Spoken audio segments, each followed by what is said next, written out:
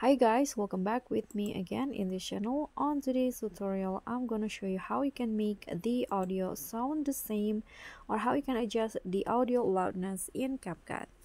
So as you guys can see here, I have three videos added to CapCut and each videos has like this different uh volume of audio and I want to make it sound the same. So what you need to do is click one of the video and then go to the volume uh, option. And here you can increase or lower it. That's uh, depend on how you can make it loud so I'm going to go with for example 300 around 300 then here you just need to click on the loudness adjustment.